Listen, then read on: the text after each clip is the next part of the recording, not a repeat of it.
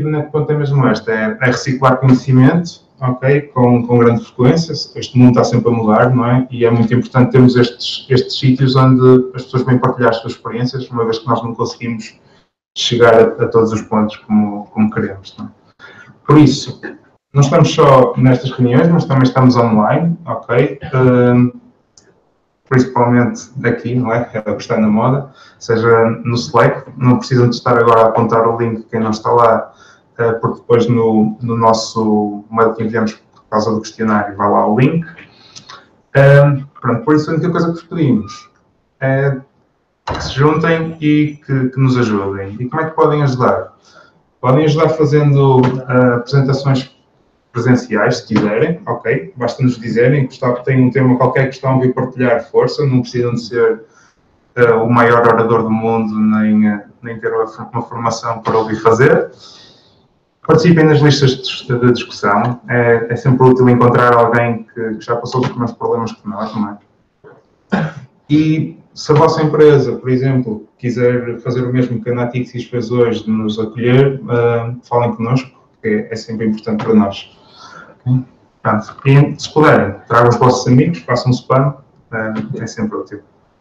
Pronto, temos t-shirts, quem quiser, e o formulário de avaliação. Vocês vão receber no final da reunião um e-mail. Um, pedimos que respondam, é sempre importante para percebermos o que é que podemos melhorar na próxima, que temas é que vocês gostavam de ver cá e tudo isso. Okay? Pronto, gostava de agradecer à Natixis por nos, por nos receber. Um, aos nossos patrocinadores Silver que nos ajudam a organizar e a, e a fazer alguns sorteios e aos Bronze que, que, nos costumam ajudar a divulgar e mesmo na, na própria organização. Okay. É tradição da NetPoint que no final, uh, pelo menos cá no Porto, há, há a Francesinha, quem quiser vir uh, está convidado. Pronto, ainda no, no Porto ainda não temos as, as datas bem fechadas do próximo ano. Um, mas esperamos que alguns em fevereiro, março exista a próxima reunião. Eh, este ano conseguimos fazer seis reuniões cá no Porto pela primeira vez, ou seja, o que é, que é muito bom. Esperamos no próximo ano continuar com, com o mesmo ritmo. Pronto. Vamos ter o, o Sérgio e o José, ok? Eu aproveito já para introduzir o Sérgio. O Sérgio vem da, da Farfetch e vai-nos falar um bocadinho do que ele viu das eh, milhentas entrevistas que já fez até hoje. Ok? Pronto. Obrigado. Posso ser.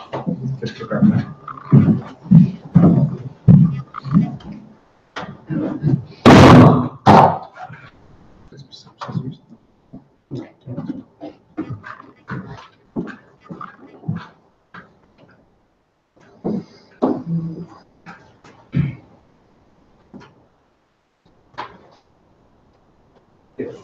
Eu fiz Olá,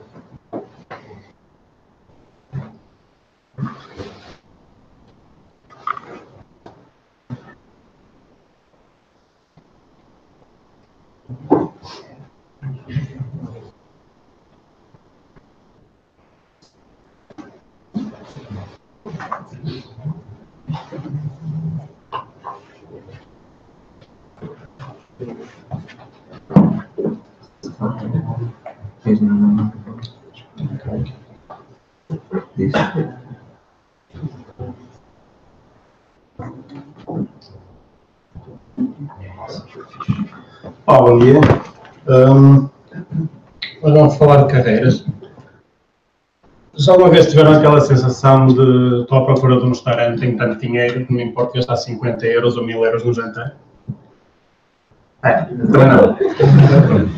A questão é que eu vejo muitas vezes acontece isso com as carreiras. Parece que há assim tanto que podemos por isso simplesmente expressar. Como vamos falar de carreiras, eh, eu vou começar a falar da minha, vou falar de alguns pontos que eu observei e vou ainda falar de alguns passos que eu tomei ao longo da minha carreira. Espero que ajude. Então, meu nome é Sérgio Oliveira. Eu comecei a trabalhar numa empresa chamada CodeVision. Fazia software, ainda faz, uh, dedicado à educação, faz software de gestão do parque escolar. Depois estive a trabalhar na Ascendi,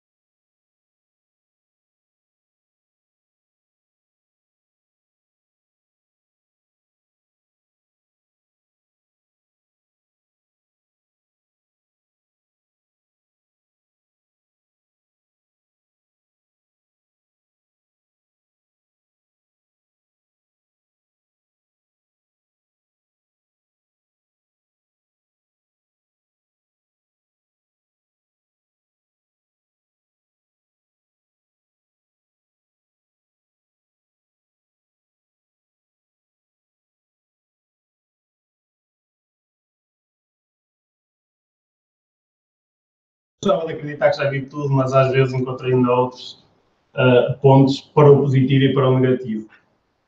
a sensação que eu tenho é que às vezes nos esquecemos que somos profissionais. E, e vou dar alguns exemplos de episódios que, que eu vi. Uh, nós temos o, o caso de um, de um candidato que estava a ser recrutado, ele tipicamente estamos a ter uma conversa, estamos a falar dos projetos que ele trabalhou, daqueles que mais gostou, e um deles que ele está a falar, olha, este último que eu fiz é muito interessante, consegui entregar muito rápido. Eu, acho, sim, então, como é que tu garantes a qualidade do teu software? Fica assim a olhar para mim, Hã? Sim, olha, compilas, entregas, o cliente está satisfeito. É, é quase isso. Espera, não fazes unit test, não fazes garantias. E ele diz-me algo do, do género, ah, o projeto era pequeno, o cliente eh, pagava pouco, então não valia a pena, não me compensava entrar a fundo no, na qualidade. Esta parte a mim fez-me confusão, para, para ser sincero. Ando de ver que ao longo da carreira, aquilo que nós fizemos no passado vai nos perseguir, para o bem e para o mal. Vai ser, aquele, vai ser aquela pessoa que deitou uma base de dados abaixo, vai ser aquela pessoa que deitou o serviço abaixo, vai ser aquela pessoa que conseguiu entregar o projeto X e o projeto Y, vais ser aquela pessoa que os outros gostam de trabalhar contigo. Mais do que o projeto em que nós estamos, devemos pensar na, na nossa carreira e o que nós estamos a fazer, que é para nós, mais do, do que os, o, o projeto em que, em que estamos a desenvolver. Tive ainda outro cenário, e este foi curioso. Estava a fazer entrevista para software developer até estava a gostar do, do candidato. Eu tipicamente guardo uma secção no, no, recrutamento para aquilo que nós chamamos o, as jovens promessas. Alguém tem o espírito certo, tem alguns conhecimentos técnicos, falta este ponto, aquele e o outro, não há problema, nós estamos dispostos a ensinar isso. E estava qualificado como uma jovem promessa, até ele dizer-me, ah, eu, eu candidatei-me porque eu quero depois evoluir para Product Owner e queimou tudo. Primeiro eu disse, estava a fazer a entrevista para software developer, por isso tinha que puxar a sardinha e dizer, olha, uh, da minha perspectiva, tu queres é regredir para Product Owner. Uh, nós temos uma carreira que não, o próximo passo não é Product Owner, é uma carreira totalmente ao lado, devia estar ciente disso. E mais levanta-me um problema que é, eu vou estar a investir em ti como um software developer, vais entrar como um software developer, vamos fazer esse investimento em ti para passar seis meses, oito meses, um ano, tu dizes, olha, afinal eu queria ser product owner e vamos começar tudo de novo. Ah, o ponto que eu gostava de tirar aqui é que é muito importante nós termos a noção de para onde queremos ir e o que queremos fazer. Mais ainda, numa entrevista, se quando forem a entrevistas, sejam honestos com, vos, com vocês próprios. Porque estás a dizer, eu quero candidatar-me a um cargo de X para entrar na casa e aparecer do outro lado, é, parece um truque de magia, mas não é propriamente aquilo, dá, dá a noção que não sabes o, o que é que estás a fazer. Já agora faz sentido? Alguém quer evoluir para Product Owner? Carreiras distintas, não estou a denegrir nenhuma. Uh, havia outro candidato que já trabalhava há algum ano, há alguns anos, e uh, estávamos em MVC4, por exemplo, na altura da MVC4, e eu perguntei-lhe, olha, então, MVC, que tal? Estás à vontade? Ele, ah, não, nunca peguei os webforms, mas nunca tiveste curiosidade, nunca tiveste vontade de aprender? Ah, sim, já tive curiosidade, já tive imensa vontade, mas uh, a minha entidade uh, empregadora não quer pagar formação. Eu acredito que é do, do maior interesse das empresas investirem na formação dos seus colaboradores. Mas no final do dia, quem ganha mais somos nós. Uh, se alguém não te está a pagar uma formação e se tu queres aprender, mais ainda nos dias de hoje, qualquer um aprende sem dinheiro, basta um, um computador um, e qualquer coisa, e a internet diz-nos tudo. Ensina-nos muitas coisas mais, mas se calhar é um primeiro ponto de contacto para nós começarmos a avançar. Ou seja, nós devemos investir em nós próprios. Tive ainda este cenário que para mim até foi o mais preocupante. Estava a, uh, a entrevistar um, um developer com 14 anos de experiência para um cargo de, de senior, em que ele fala, já trabalhei com X, já trabalhei com Y, já trabalhei com Z, e depois começo a, explorar e a puxar uh, o que é que ele fazia uh, ao longo do tempo e chega um ponto em que ele me diz ah, bem, nos últimos oito anos o meu trabalho era correr um script que eu tinha feito e otimizei para corrigir os bugs que a aplicação tinha, todos os meses havia um fecho de mês, e eu precisava sempre de, acertar nos valores que estavam errados. É pá, por favor, não estão a ser profissionais, não é? Ninguém está a pagar ninguém para teres um, um script escondido, toda a gente, para seres a única pessoa que pode correr isso, e tu sabes que não vais ser despedido porque depois não conseguem fechar o mês. É muito, muito estranho. Aqui há dois pontos que me fazem confusão. Primeiro, se tu fores indispensável, se tu fores a única pessoa que consegue fazer este trabalho, nunca vais ser promovido. Vão, e vai haver oportunidades de evolução, vai haver desafios que podem ser, mas epá, eu não posso usar aquela pessoa porque é o único que me consegue fechar o mês. Se acham, se achas que o, que o teu trabalho é valorizado pelo aquilo que consegues fazer a entrega neste momento, nunca vais sair desse ponto. Outro cenário que me fez muita, muita confusão foi o facto de não ter feito mais nada ao longo de oito anos, a não ser correr um raio de um script que há oito anos atrás o escreveu, guardou numa pen, numa disquete, whatever, e tens vindo a fazer isso, como é que tu consegues estar bem contigo próprio? Primeiro, ah tá, eu estou a ser pago, mas o meu trabalho é aqui, eu apareço ao fim do mês, resolvo o dia, que toda a gente a correr, ah, não conseguimos fechar o mês, temos problemas nos dados. E aqui está. Para além de que não há evolução, eh, eu acredito que não existe nenhum algoritmo de compactação para a experiência. Ou seja, para ganharmos a experiência, nós temos que a viver. Não conseguimos ter 10 anos de experiência em 2 anos de trabalho. Mas eu descobri que há pessoas que conseguem fazer o contrário. Conseguem deixar passar o tempo sem ganhar experiência.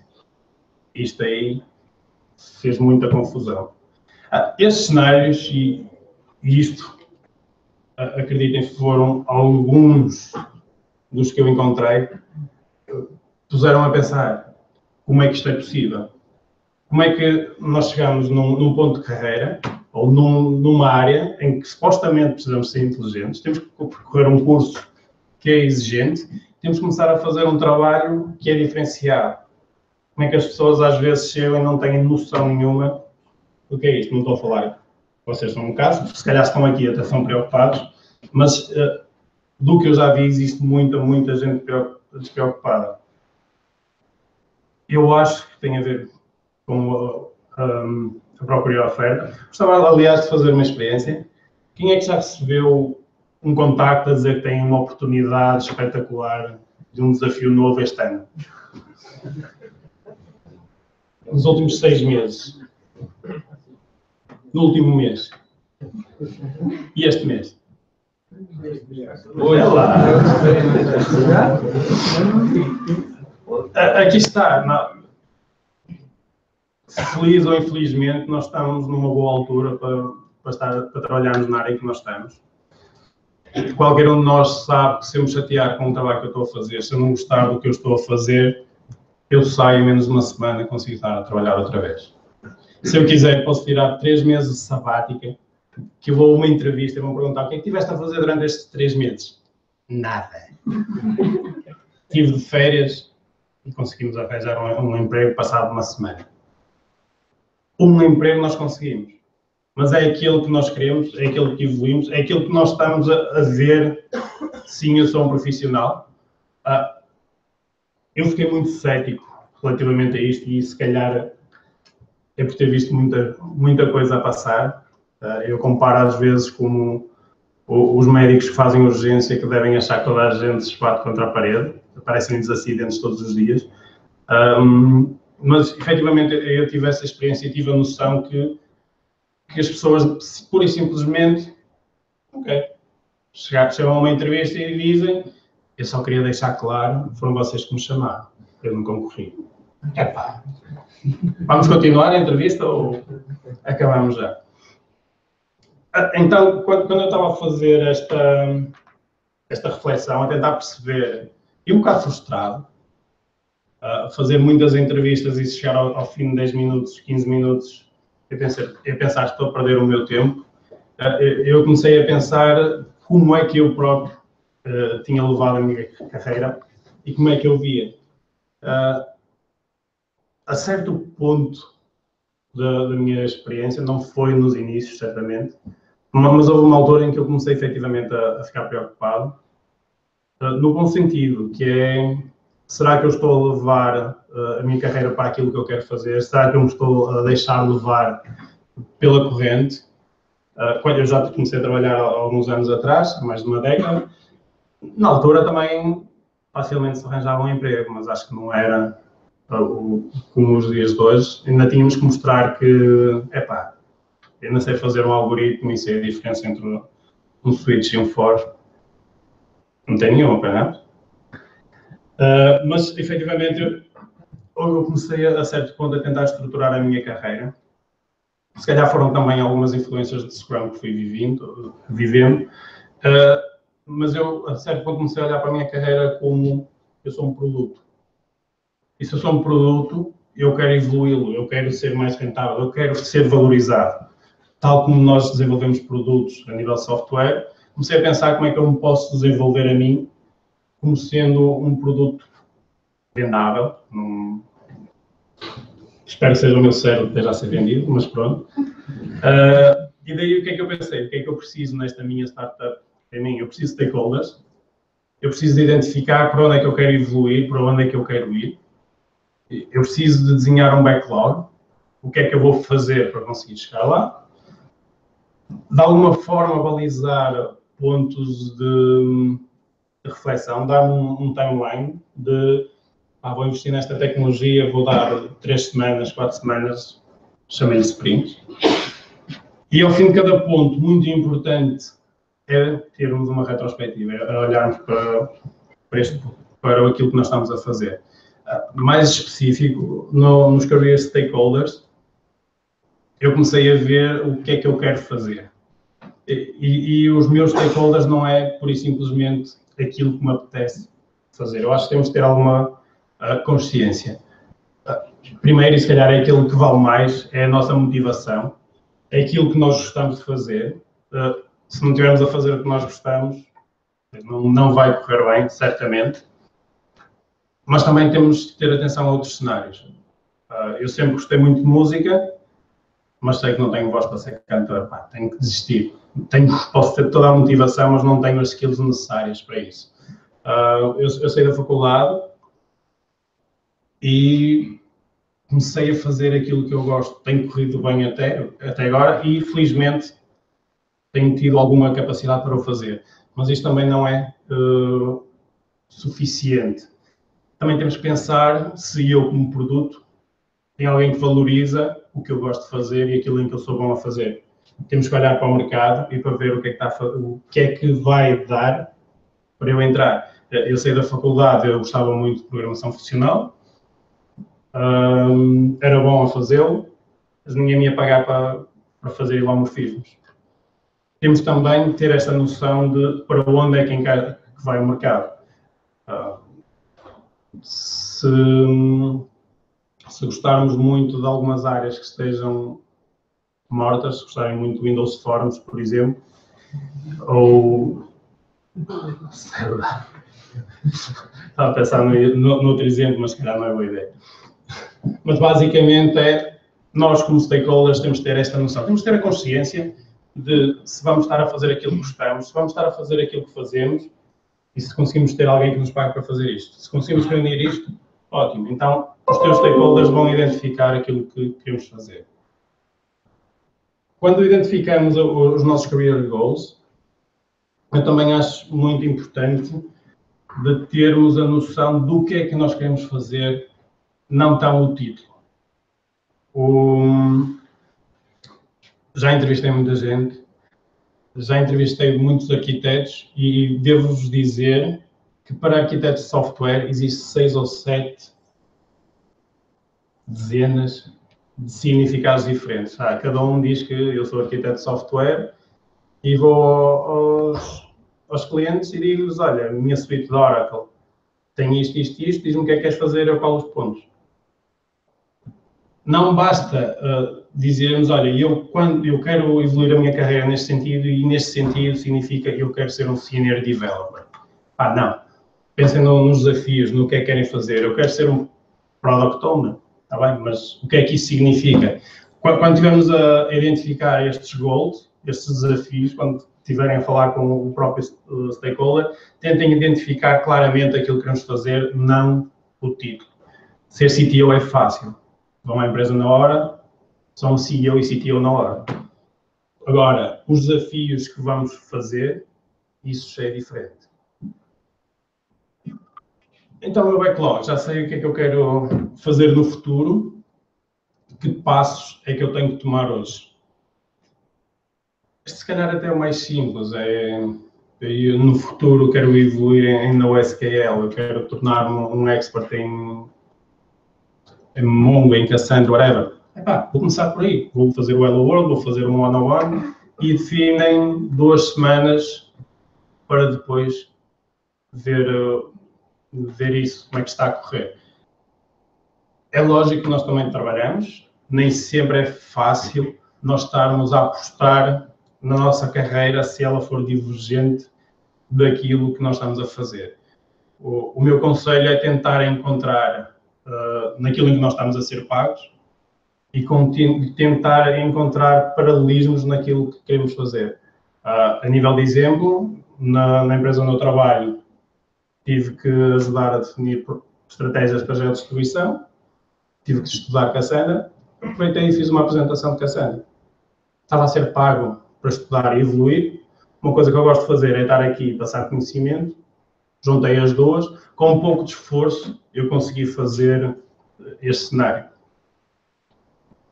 Isto vai de encontro às sprints, certo? Uh, tentar encontrar, se nós conseguimos encontrar no dia a dia o que é que nós queremos fazer, puxar projetos para nós, a dizer, olha, eu gostava de fazer isto, eu gostava de fazer isto desta maneira. Se juntarmos os dois pontos, será muito, muito mais fácil.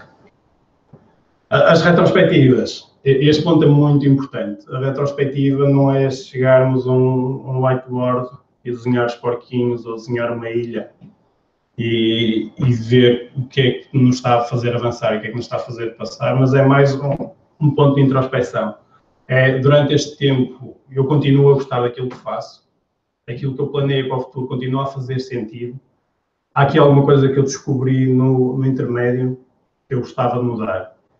Felizmente, este nosso produto é nosso e nós estamos sempre a, a tempo de, de evoluir.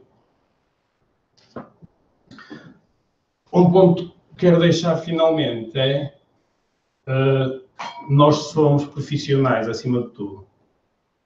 Um exemplo que eu costumo dar é quando eu tirei a carta de condução, a escola estava-me a ensinar a passar no exame, não me estava a ensinar a conduzir. Ninguém me dizia para conduzir faz assim, não, olha, vai aparecer na passadeira, se tiver alguém a metro e meio da passadeira, paras. Ninguém vai chumbar se parares antes de uma passadeira ninguém passar. Mas se eles puserem o pé, tu chumbas. E eu lembro-me de todas as minhas lições de aprendizagem de condução foi isso. No entanto, quando algum condutor profissional está a aprender a tirar, ou está a tirar a carta de condutor profissional, as coisas já são mais sérias. Eu vejo muitas vezes no, nos exemplos que, que, passam por mim que parece que temos developers de tempo livre. São bons, são capazes, mas esta conjuntura, mais até para as pessoas mais novas, não está a ajudar a tornar-nos bons profissionais. Uh, e se queremos amanhã tornar-nos um, um, bom profissional e um produto valioso, devemos começar a trabalhar já. Obrigado.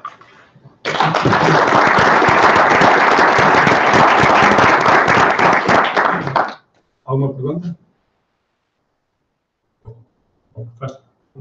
Não achas que o facto de eu estudei na Universidade de Domingo, quando eu entrei já éramos 120, neste momento acho que em 160 o curso.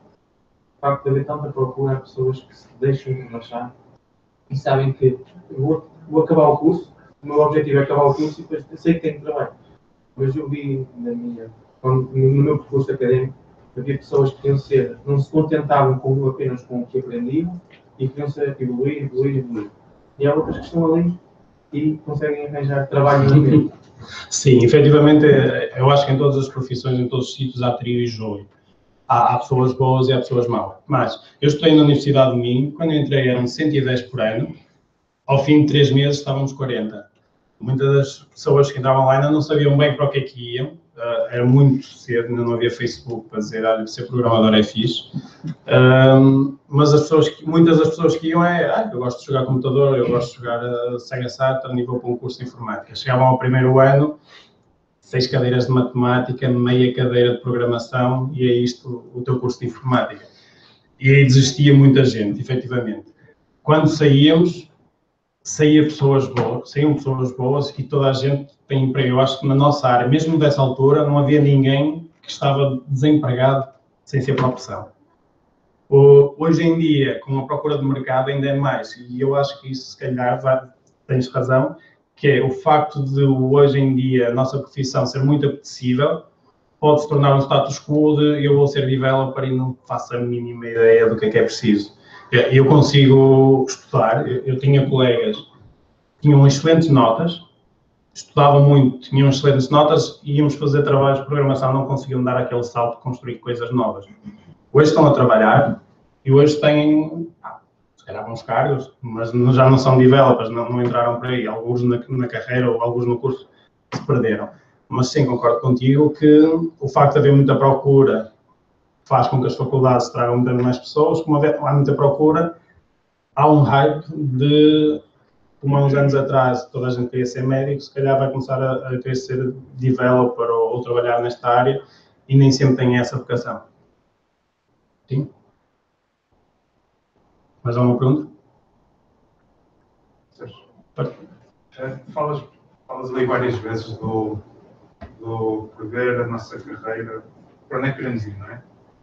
Uh, quando dizes para onde é que queremos ir, estás a dizer num, numa margem temporal do quê? Ou seja, onde é que tu queres estar daqui a quanto tempo? Sim. Uh, é uma pergunta excelente. Eu já fiz esse exercício há 10 anos e a cada seis meses mudava. Um, é tentar ver num, num, espaço realizável, em alguma coisa se calhar mais próxima, ter uma noção muito difusa no futuro se calhar, no futuro, daqui a 20 anos, eu quero ser podre de rico. É, é válido, mas como fazer o quê? Certo? Uh, mas se calhar daqui a dois anos eu sei já o que é que quero fazer. Eu consigo olhar à minha volta, ver o mercado, ver mesmo do, no sítio onde eu estou a trabalhar que oportunidades é que há e dizer, olha, e não ter medo de verbalizar isto. Eu gostava de fazer esta parte. Se tivermos bons managers, se tivermos essa vontade com as pessoas com quem nós trabalhamos, pode ser que nos ajudam ou pode ser que alguém te diz logo à cabeça, pá, não, não, faz sentido, não, não é isso que tu queres, porque apesar de parecer um excelente cargo, ainda tens que fazer isto, aquilo e aquilo outro, não parece que seja do teu sentido. É difícil responder a isto, mas eu, eu diria que pelo menos um ano eu, eu, tenho essa noção do que é que eu ainda quero fazer no próximo ano. Sim? Um já agora, já agora uh, não muito relacionado. Uh, há pouco falámos aqui sobre estar na, na universidade, não é? E, e procurar uh, trabalho. Um, eu não sei se está aqui por acaso alguém que ainda esteja a estudar, mas que, que, coisas é que tu achas que hoje em dia o pessoal está a sair da universidade e está completamente desalinhado do, do que o mercado está à espera? Eu às vezes sinto isto e não sei se, se nas entrevistas que fazes se é, se é o mesmo. É, o pessoal que sai da universidade, não estou à espera que eles saibam muita coisa, muita coisa técnica. Uh, para developers, daquilo que nós procuramos, uh, e neste caso a falar da, da Farfetch, há poucas empresas em que têm efetivamente as skills ou o skill set de tudo o que nós queremos. Para quem sai da faculdade, nós procuramos mentalidades e, e, e pessoas. se é alguém que, que foi, que tenha noção de, de querer aprender, quer evoluir, não tem medo de arriscar, pá, nós vamos ensinar isso. O, o que eu acho que falta muitas vezes de, de, quem sai da universidade é, se calhar, alguma maturidade de que eu vou entrar no, no mercado de trabalho e eu tenho que provar e tenho que aprender. Uh, eu também já saí e era aquela pessoa que sabia tudo, até começar a fazer as coisas e ver que existe um mundo para além disso. O, o que falta mesmo, eu acho que é alguma maturidade e alguma noção de que agora somos profissionais.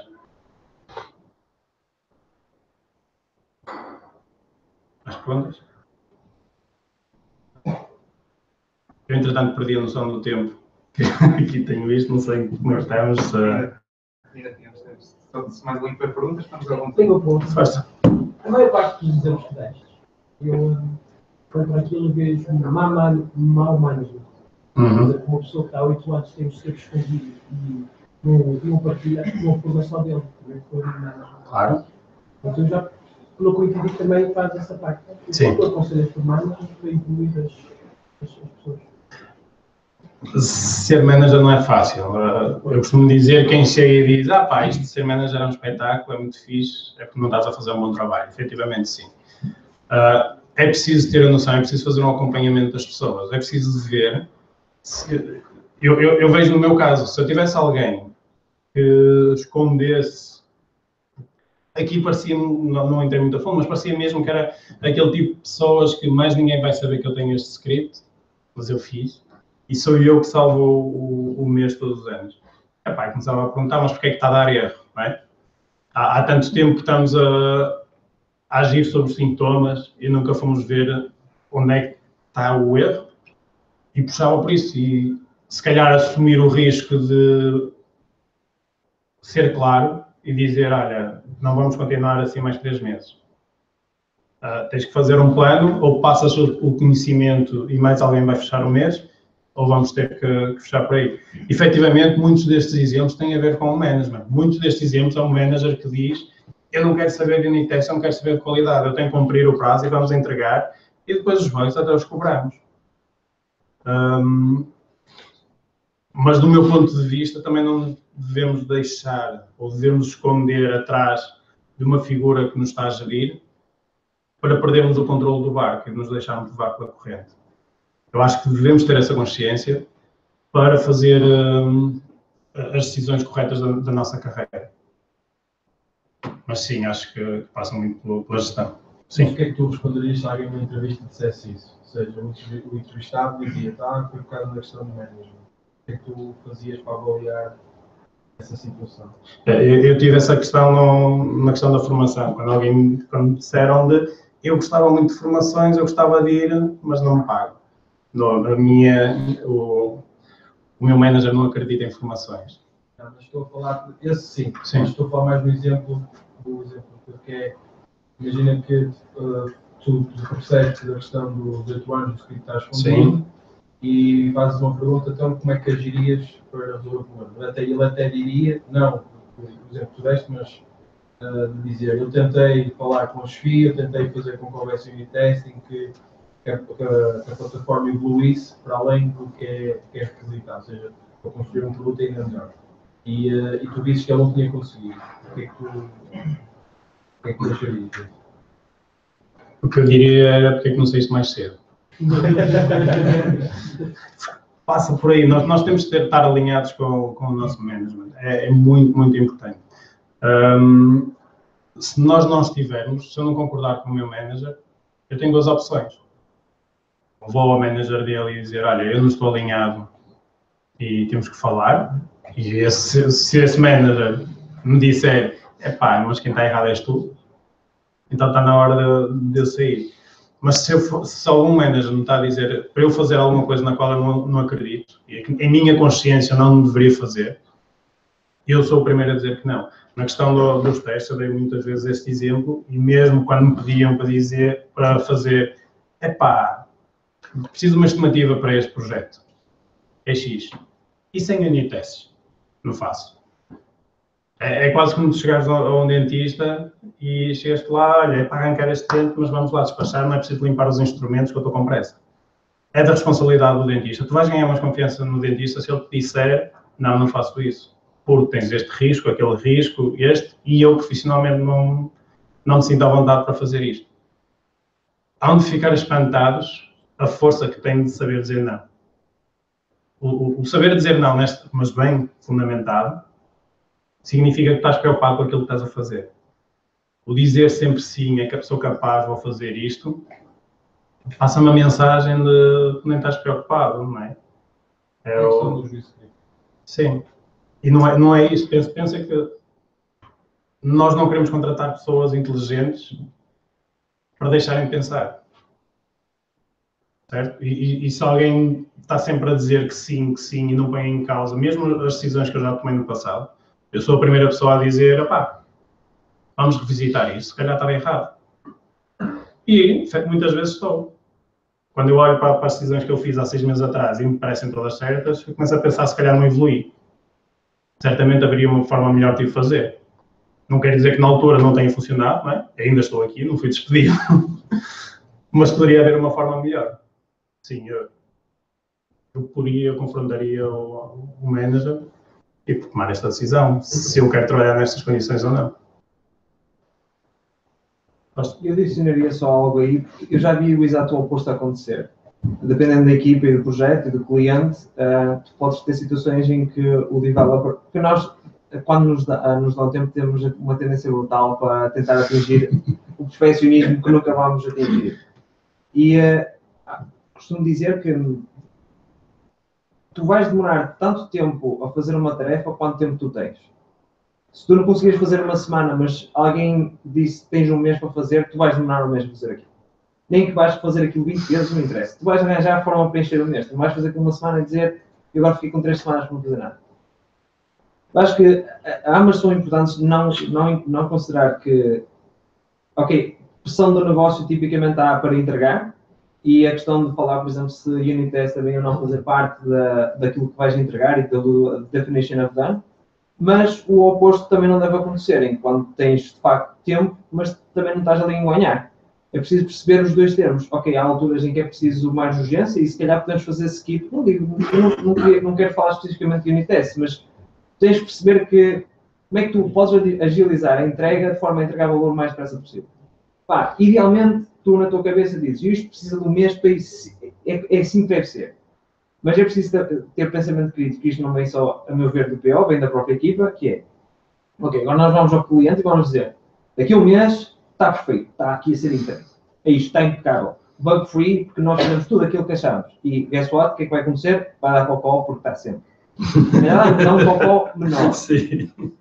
Ou seja, e se pensarmos da seguinte forma, como é que nós conseguimos decompor este trabalho e entregar, porque isso é tipo Scrum roda em torno disso, Agile roda em torno disso, como é que nós podemos entregar incrementos e ir testando sempre? Porque quantas vezes é que tu entregaste uma cena em que ah, isto em que está brutal. Por isso, e temos testes, temos tudo. Chega à produção, merda. Quantas vezes é que isso não aconteceu? Sim. Porque as condições de teste são completamente diferentes. Então, quanto mais cedo podemos testar pequenos incrementos, melhor. Eu acho que isso, essa preocupação não devia vir apenas do PO, mas também, ou neste caso do manager, que seja, mas da própria equipe.